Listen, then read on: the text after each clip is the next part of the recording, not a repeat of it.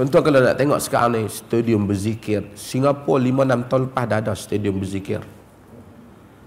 Saya bukan kata salah berzikir tu. Tapi saya nak cerita tentang fenomena ni. Adakah dia real ataupun dia sebenarnya saya buat satu contoh. Kalau tuan-tuan jumpa satu orang, tiba-tiba dia pakai baju t-shirt, dia bubuh gambar saya. Kalau lah. Orang tak bubuh lah. Pasal saya tak handsome, buat kata Ibrahim Ali.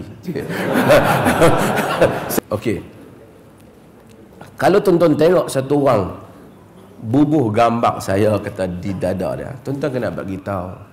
Ini bukan tindakan yang betul. Ugama dia tak puja tokoh. Ugama dia memuja prinsip. Dia memuja inti kandungan ajaran Islam.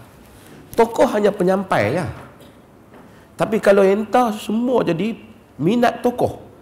Gambar dia, kalau remeh dia beskat dia kita dah jadi kita dah dia bukan salaf. Kita dah jadi kita ter, mungkin pada satu sudut dia satu hobi. Kita nak kata oh orang bubuh gambar artis boleh pasal gambar ustaz tak boleh. Saya kalau nak buat perbandingan macam tu susah lah. Semua benda ada artis kita suruh ustaz buat. Tak boleh